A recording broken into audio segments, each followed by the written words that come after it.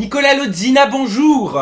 Bonjour, Où est-ce qu'on est là? On est chez toi, on est en Belgique, t'es où? On est euh, chez moi en direct dans ma maison. Waouh, c'est beau dis donc. C'est super joli. C'est ta baraque en Belgique ça? En Belgique, à Liège. À Liège, ok, bah écoute, euh, la prochaine fois quand je serai du côté de la Belgique, je viendrai te faire un petit coucou, je m'inviterai Ah à une bouffe. Nicolas, tu as fait ton grand retour dans les Marseillais VS le reste du monde et on sait à quel point tu es un compétiteur dans l'âme. Je fais référence à Jessica, tu sais que j'ai eu énormément de questions et comme je vous avais suivi, tu sais j'étais venu à l'inauguration du salon de coiffure de Jessica, tu étais présent. Moi ça m'a touché votre rupture parce que forcément j'ai été toute une journée avec vous, je vous ai vu évoluer, je vous ai vu très amoureux. Et puis c'est vrai que je te cache pas comme beaucoup, j'ai pas réellement compris ce qui s'est passé, c'est pour ça que je suis content de te donner la parole aujourd'hui. Pour commencer Nicolas, je voulais savoir dans quel état d'esprit est-ce que tu étais, est-ce que vous étiez avec Jess avant votre rupture? Avant la rupture, oui, avant la rupture. Est-ce que tout se passait bien? Est-ce qu'il y avait déjà un petit peu de l'eau dans le gaz? Comment ça se passait? Est-ce qu'il y avait des signes annonciateurs? Bon voilà, bah, avec Jess, euh, je pense que on a tué peut-être nous-mêmes notre relation. Voilà, au fil des mois, la passion s'est un peu enlevée, je pense, plus de son côté que du mien. C'est très très dur d'être un couple comme nous, très très médiatisé, parce qu'on était venu à un point où il y a eu beaucoup de concurrence aussi malsaine entre elle et moi. Voilà, quand on fait quand on fait de la télé, qu'on est fort médiatisé, ben il y a toujours euh, un qui est peut-être plus à la lumière que l'autre. Voilà, je sais que Jess est beaucoup plus connue que moi. Voilà, je suis, je suis tout nouveau dans le game. Ça fait euh, ça fait plus de 3-4 ans qu'elle est, qu'elle est là-bas. Donc voilà, je pense que notre relation au début, ça a bien démarré, mais euh, au fur et à mesure des mois, pff, on était plus sur la même longueur d'onde. J'ai l'impression que j'arrivais plus à lui apporter ce qu'elle voulait. Mais qu'est-ce que tu veux dire? Tu veux dire qu'il y avait une sorte de compétition entre vous? Tu la sentais s'éloigner de toi? Ouais, je la sentais s'éloigner de moi, ouais. Je la sentais s'éloigner, on, les, les disputes se, se multipliaient, les coups de gueule. Euh, elle venait plus trop chez moi ici en Belgique et je sentais que j'ai tout fait pour sauver mon couple, hein. J'ai Mhm. tout fait. J'ai- emmené en voyage, j'ai- offert des cadeaux, etc. Mais il y a rien. Je pense que c'était mort. Voilà, Tu la mort. sentais moins amoureuse peut-être? Ouais, moi amoureuse, moi amoureuse. Moi j'étais, euh, j'étais- fou d'elle. Hein. J'étais fou d'elle, ça c'est sûr et certain. Et puis euh, il y a, on a eu une grosse dispute. Euh, Il y a eu mon fameux voyage à Monaco euh, qui euh, qui a fait beaucoup couler, qui a fait beaucoup couler d'encre. Justement, ce serait bien que tu puisses éclaircir tout ça parce que tu t'es très peu exprimé là-dessus. Là, tu parles de ton voyage à Monaco Ouais. Qui avait eu lieu Voilà, au mois de mars, mais au mois de décembre, Jessica euh, m'avait parlé, tu sais, dans une interview il y a quelques mois, m'expliquait qu'au mois de décembre, le lendemain de Noël, elle avait découvert que tu l'avais trompé. Ouais, bon, bah, ça, il n'y a jamais eu de preuve non plus. C'est encore euh, le même blogueur qui a raconté ça. Une, une nuit à Paris, euh, certes arrosée entre moi et mes copains, mais on a commencé à, à dire qu'il y avait des filles dans l'histoire, que j'avais couché, j'avais trompé. Mais j'attends qu'on me montre les preuves. J'attends qu'on Oui, preuves. bah, je, suis, alors, je, je suis totalement d'accord avec toi. Sans preuve, c'est difficile d'accabler quelqu'un. Euh, mais comme tu m'expliques qu'elle, tu sentais qu'elle s'était éloignée de toi, qu'elle était moins amoureuse de toi, tu sais, des fois, euh, en tant qu'être humain, on fait des choses qu'on regrette parfois, et on Non, peut se laisser aller si on a l'impression que la personne en face le nous aime plus. Ça, je l'aurais jamais fait. Jessica, c'est une fille que je, je respectais à la mort. C'est une fille, euh, j'avais que Dieu, que Dieu pour elle. Je pouvais pas aller regarder ailleurs. C'était même, même qu'elle était en France, que moi en Belgique, c'était impossible. C'était impossible. C'était quasi pour moi la femme de ma vie. Je, me voyais avec elle, je me voyais avec des enfants, etc. Donc c'est impossible, impossible que j'aurais pu, euh, j'aurais pu euh, aller voir ailleurs que Donc ça. au, mois- au mois de décembre, tout Non, ce qu'on a pu lire est faux. décembre- Au mois de décembre, on était encore très très amoureux. Donc c'est faux tout ce qu'on a pu lire. Tu ne l'as jamais trompé au mois de décembre. Bien sûr que c'est faux. Ok. Et tu me parlais du mois de mars, Monaco, parce qu'il y a eu une rumeur de seconde tromperie à Monaco, justement. Ça, qu'est-ce que tu peux nous dire là-dessus? Est-ce que tu reconnais certains torts? Seconde tromperie, le même euh, blogueur, on va pas citer son nom, et le même article.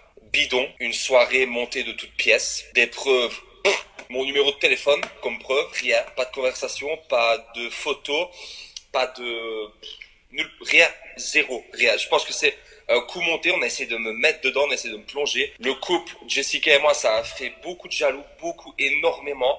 Et je pense qu'on a essayé de me, de me séparer d'elle. On a essayé que ça pète entre elle et moi. On- ils ont tout fait pour et ils ont réussi. Donc tu es en train de nous dire que si tu n'es plus en couple avec Jessica, c'est parce que certains médias ont tout fait pour euh, que vous vous sépariez. Non, je n'irai pas jusque-là. Mais ça a joué. Ça a joué quand on, quand on lâche un article merdique, certes, puis je me défends comme je peux, mais qu'il y a un second qui arrive, c'est normal que la fille, à un moment, elle a plus confiance en moi. C'est une fille, ça croit tout ce que ça raconte, ça lit les médias comme tout le monde, puis voilà, c'est sûr et certain que j'ai plus de crédibilité à la fin. Je, je me défends de A à Z, je, je crie sur tous les toits, mais comment, me comment me, me justifier à part que- filmer? Pas Bien sûr, à, mais- à part filmer ma soirée en GoPro, je peux rien faire. Oui, puis faut pas non plus en arriver là, c'est pas bon pour un couple non sûr. plus.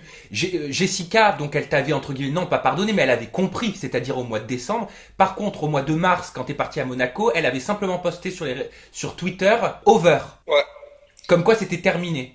Ouais, Est-ce que moi je voulais savoir si vous aviez eu une discussion, si vous vous étiez vus? En fait, quand ça s'est appris, ben, j'ai appris que j'étais célibataire tout simplement en allant voir le compte Instagram de Jess. Voilà. J'ai, j'ai vu le mot over. J'ai sonné à mon agent directement, Magali. J'ai dit, écoute, qu'est-ce qui se passe? Qu'est-ce que je dois faire? Est-ce que je dois lui sonner? Est-ce que je dois sonner à sa mère, son meilleur ami? Qu'est-ce que je dois faire? J'ai essayé de sonner à son meilleur ami, à sa mère, à son père, tout le monde. Et ils m'ont tous dit pareil. S'il te plaît, laisse-la. Elle est mal. Reparle-lui dans deux, trois jours. Ouais. J'ai dit, ok, ok, je la comprends, c'est dur, je vais essayer de m'expliquer, je vais la laisser dormir sur ses deux oreilles, et peut-être que ça ira après. Je me suis expliqué effectivement 48 heures, je pense, après, deux jours, et euh, bah, rien n'y fait. Elle était remontée, j'ai essayé de m'expliquer par A plus B, tout, enfin... C'est-à-dire qu'elle était con- convaincue que tu l'avais trompée. Non, c'était fini, elle avait, elle avait tourné la page direct. Oui, mais est-ce qu'elle avait tourné la page parce qu'elle était convaincue que tu l'avais trompée? Parce que dans ce cas-là, c'est une erreur si c'est pas le cas. Non, elle était convaincue. Et Elle toi, tu ne convaincue. pouvais rien dire, tu n'avais aucun moyen de lui faire entendre raison à ton niveau. Donc deux jours après, je lui ai donné les explications, etc. Bah, j'ai encore toutes les preuves et tout, mais ça je sortirai jamais parce que c'est une vie privée entre elle et moi.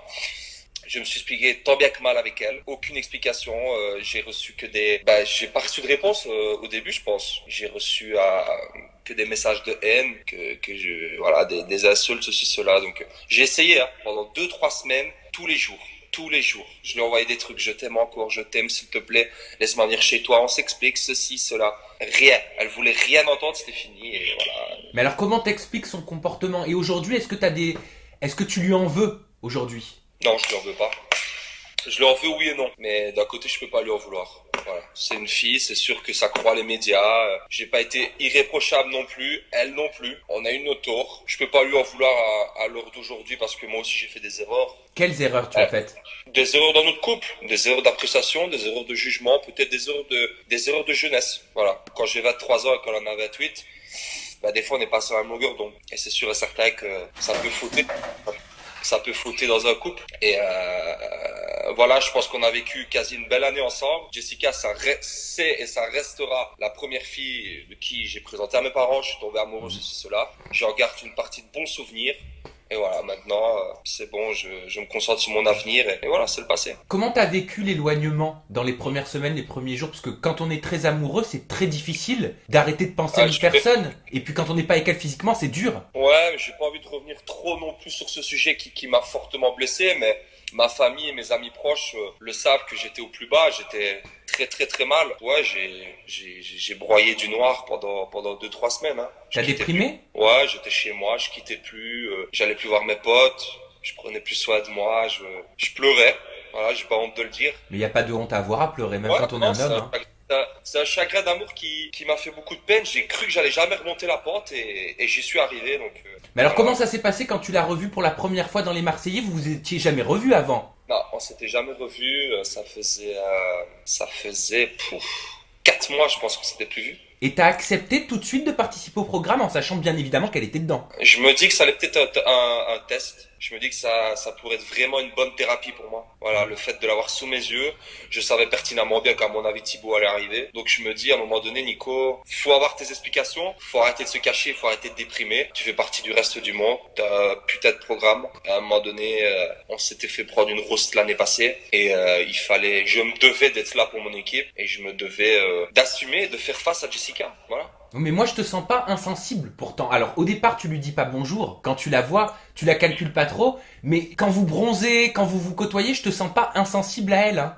Ouais, c'est euh, les premiers moments avec elle, c'est dur, hein. C'est très très dur parce que je vois que je vois qu'elle est radieuse, je vois qu'elle parle de Thibaut et moi je suis là tout seul, célibataire dans mon coin, euh, encore amoureux d'elle à ce moment-là. Et aujourd'hui t'es encore amoureux? Non, C'est passé? C'est passé, c'est passé. euh, on a eu des explications là-bas, elle et moi. J'ai eu mes explications avec Thibaut. J'ai eu des gens comme Julia, etc., qui m'ont bien conseillé. Et euh, non, j'ai tourné la page. J'ai tourné la page et franchement, je suis très heureux à l'heure actuelle. Je suis vraiment épanoui dans ma vie et, euh, et voilà, ça sert à rien de garder de la haine. De Ah la bah bien sûr, bien sûr, Jessica, raison. Jessica, elle a fait partie de ma vie. Je lui souhaite que du bonheur. C'est une fille que je respecte énormément. Et euh, voilà, je serai toujours là pour elle en tant que pote. Et qu'est-ce que ça t'a fait par contre quand tu le quand tu l'as vu en couple avec Thibaut Garcia? C'est jamais agréable, je me dis, quand Ouais, tu vois la meuf que t'as aimée avec un autre homme. Les, les premiers moments, c'est très dur parce qu'elle se comporte avec lui comme quand elle était avec moi. Ça, c'est dur à voir. On est, dans, on est dans la maison et elle crie mon chéri, mon chéri. Et moi, instinctivement, ben, des fois, je me retourne.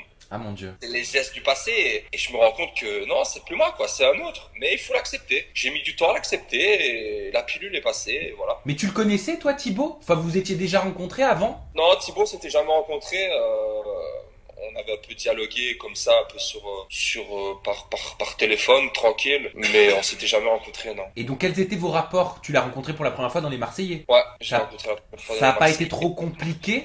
Si, compliqué, compliqué, mais euh, en fait, compte Thibaut, je peux pas lui en vouloir. Je peux pas lui en vouloir. C'est, j'ai vraiment vu que c'était un bon gars avec un bon fond. Il était pas là pour me faire du mal. Il était pas là pour euh, se la jouer, pour faire la resta ni quoi que ce soit. Donc euh, non, c'est quelqu'un que je respecte et à un moment donné, voilà, c'est la vie. C'est la vie. Bon, je te propose qu'on passe à un sujet qui va peut-être te redonner le sourire. On va parler d'autre chose, on va aller dans quelque chose d'un petit peu plus léger. À quoi vous jouez avec Mila Jasmine?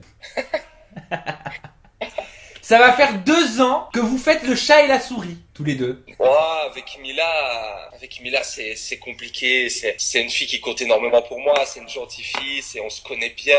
On se, on se côtoie. On connaît nos, nos, nos faiblesses, nos forces. Et, et c'est sûr que, c'est sûr que voilà, il se passe des choses. Vous allez voir dans les épisodes qu'il va se passer des choses. Ça va plaire à certains, ça va pas plaire à d'autres. On a été encore très très complices, elle et moi. Et, et voilà, je l'adore. Et vous êtes très complice aussi, je me permets Nicolas, sur les réseaux sociaux. Parce que pour fêter vos retrouvailles, Mila s'est mise à twerker à côté de toi et malheureusement, ça a fait un bad buzz sur la toile. Je sais pas si t'as vu ça. On a pu Allez. lire des commentaires. Nicolas Lodzina, comment il me dégoûte ce mec. Je suis choqué qu'il tourne autour de femmes comme ça sur Snapchat. Euh, euh, Mila qui critique, euh, Mila qui critique Kim en disant que c'est une chouin mais elle, elle est pas mieux. Comment t'as réagi à tout ça et qu'est-ce que tu en penses? Comment réagir à ça? Eh ben c'est la question que je te pose. Est-ce que je vais rentrer dans des polémiques, Sam? Je suis un, je suis quelqu'un qui est critiqué tous les jours. Je suis quelqu'un qui reçoit des insultes tous les jours. Mais à tous ces gens-là, je tiens à dire euh, que je vous aime. Merci, merci de me critiquer, merci. Ça me rend plus fort, ça me rend plus grand. Et vos insultes ne me fait absolument rien. Toutes ces insultes me font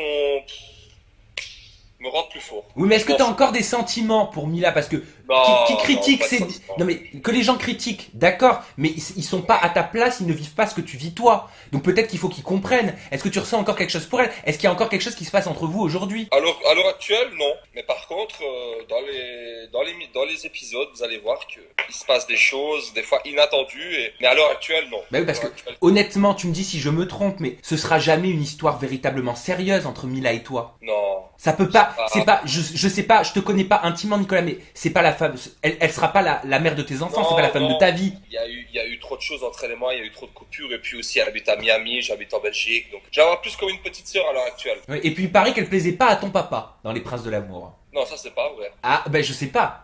Ah si, dans les princes, si. Mais après, Pourquoi il y a ton papa à côté là? C'est lui que tu regardes? Vas-y, s'expliquer. Est-ce que Ah J'apprécie Bonjour le papa de Nicolas. Je rebonjour, j'apprécie beaucoup Mila et son franc-parler. Franchement, donc c'est une fille qui est euh, qui est gentille, qui a beaucoup d'allant et euh, je trouve euh, que mon fils elle forme beaucoup beaucoup. Mais comme dit Nico, c'est sa petite sœur et elle sera toujours la bienvenue chez moi.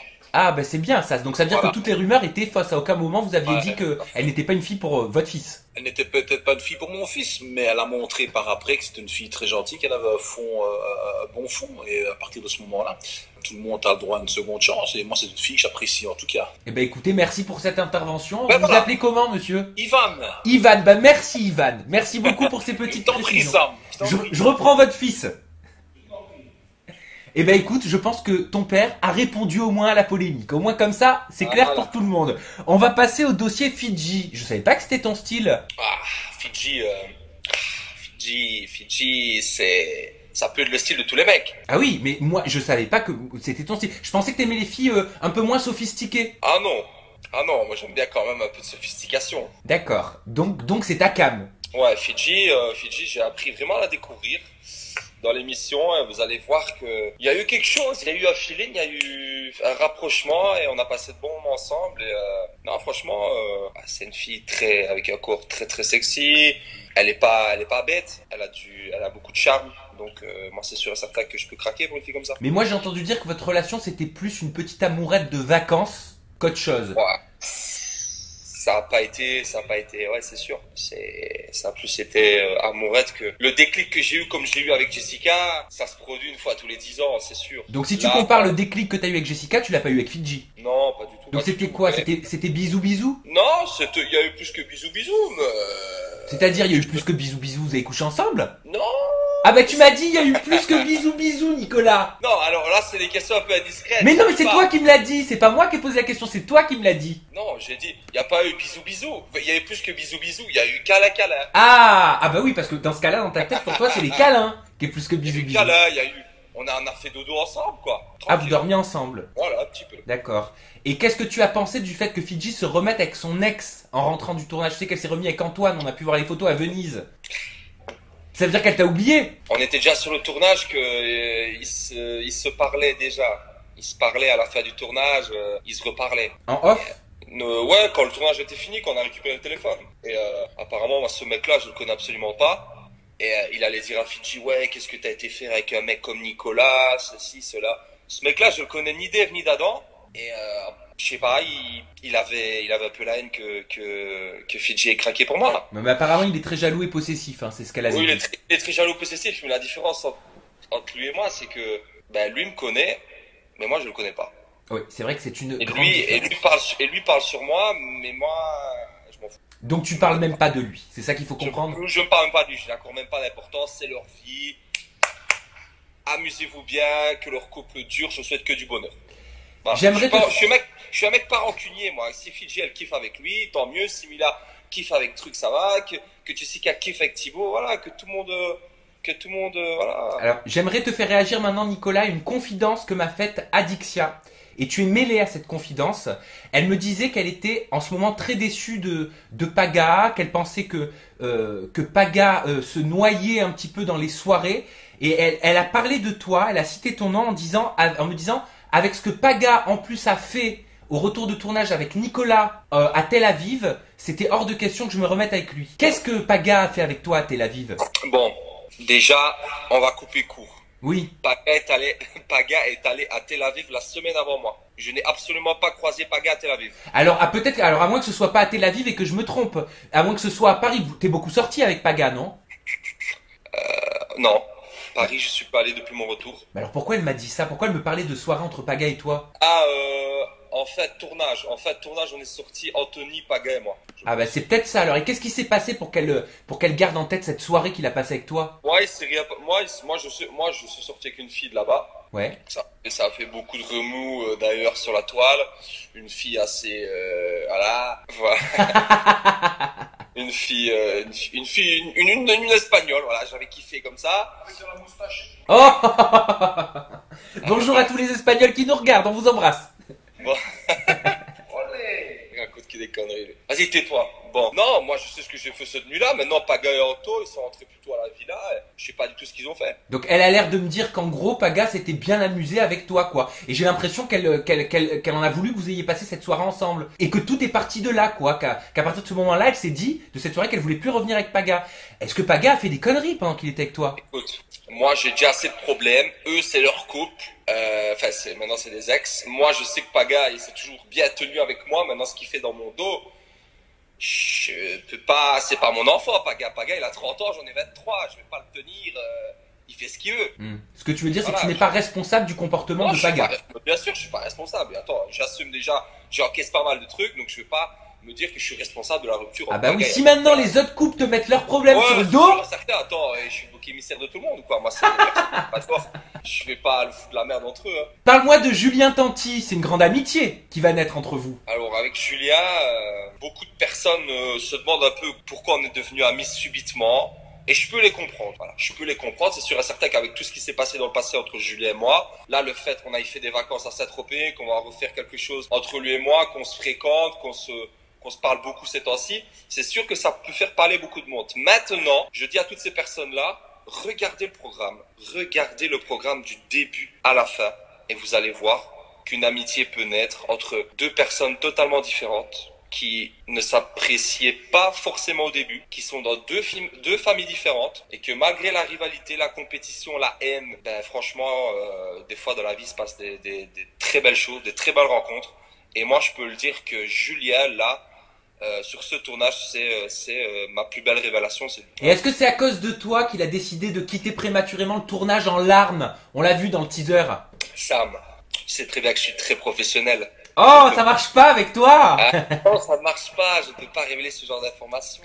Bon. Mais vous allez voir qu'il se passe des choses inattendues. Mais alors dis-moi juste si tu as un rôle dans son départ, c'est tout, sans me dire ce qui s'est passé. Ma famille y est pour quelque chose. Ta famille y est pour quelque chose. Donc ta famille va être responsable de, de son état. Parce qu'on l'a jamais vu comme ça, Julien. En plusieurs années de Marseillais. Je ne peux pas en dire plus. Ok. Et est-ce que ta famille a la niaque pour remporter la coupe? Cette année, on était très, très, très compète. Euh, je suis arrivé avec une équipe plus soudée que jamais. Franchement, euh, vous verrez parce que il s'est passé des trucs. euh, ouais, c'était un combat de, c'était un combat de titan. Ok. Et juste dis-moi, aujourd'hui là, aujourd'hui au moment où on se parle, est-ce que t'as retrouvé l'amour? Est-ce que t'as rencontré quelqu'un? Ah oui Ah, moi je te le dis, ça veut dire oui Ah mais ça se voit dans tes yeux, Nicolas Et j'ai une sorte de sixième sens pour voir ça. Ah, Ah, t'es amoureux Mais moi, je vais te dire, je joue au poker. Je suis un grand bluffeur. Ouais, mais en plus t'as des yeux clairs. Moi je te dis t'es amoureux. Si tu le dis, Sam. T'es pas amoureux, t'as rencontré personne. Si tu le dis, Sam, je te laisse croire ce que tu veux. Non mais ça c'est pourquoi c'est c'est c'est c'est pas déplacé cette question. Non. Euh, non, je vais répondre. Je, je fréquente, euh, je fréquente quelqu'un ce temps-ci, Hmm. mais euh, c'est pas, c'est pas l'amour, c'est pas. C'est du fricotage. Non, c'est voilà, on apprend à se connaître, on kiffe et je suis pas dans une optique de retrouver une amour euh, ob- obligatoirement. Elle est connue, pas connue? Non, pas connu. Ok, de toute façon, tu sais, l'amour, euh, ça tombe, euh, ça te tombe dessus, tu t'y attends pas du tout. hein. Voilà, comme ça t'est arrivé avec Jessica. Bon, est-ce que tu as quelque chose à rajouter, mon cher Nicolas Lodzina Et on arrive avec une équipe plus soudée que jamais. Il va y avoir des hauts, des bas, des clashs. Ça va être le feu. Bon, écoute Nicolas, merci pour toutes tes confidences. Tu sais que t'es le bienvenu en toute intimité. Tu me dis quand tu es de passage à Paris, On se voit très très vite. très bientôt, et je que te, je, je, je te dis rien de plus, mais je te réserve une petite surprise. Ça va, tu sais que j'aime pas beaucoup de journalistes, hein. mais toi, c'est Ah. toi, C'est adorable. Et attends, laisse-moi dire au revoir à ton papa qu'il a été adorable aussi. papa. Ivan, Sam, Ivan, merci pour tout. à la prochaine sur Paris. Ah mais avec plaisir, quand vous voulez, on se boira un ballon. Ta connaissance. Eh ben volontiers, moi aussi Ivan. Merci à vous deux, gros bisous et merci de nous avoir regardés. Bye bye, ciao. Ciao Sam. Ciao Nico, bye bye.